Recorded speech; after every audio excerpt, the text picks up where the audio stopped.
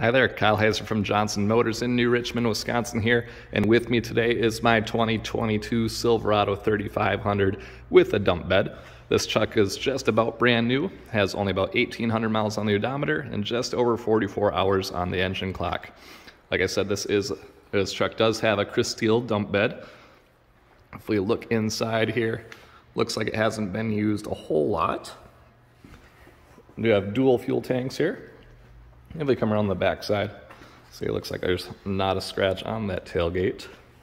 We do have a rear view camera mounted down underneath.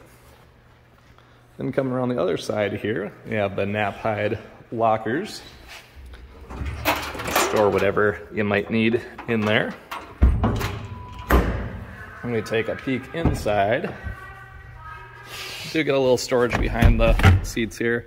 Back there we have the the engine block heater and plow harnesses and whatnot, along with the winter grill cover. We do have a touchscreen radio here. It's set up to handle Apple CarPlay and Android Auto. We have multiple charge ports there. Of course, we have a trailer brake controller. And we also have the integrated powered inverter to give you a 110 volt outlet. Uh, the dump bed does have this nice corded controller, plenty of cord to operate the bed from either side of the truck. But yeah, that's about it. Overall, really nice truck. If you have any questions about this thing or if you'd like to set up a test drive, give us a call in the office at 715-246-2261 or call me directly on my cell phone at 651-246-3525. Thanks a lot and have a great day.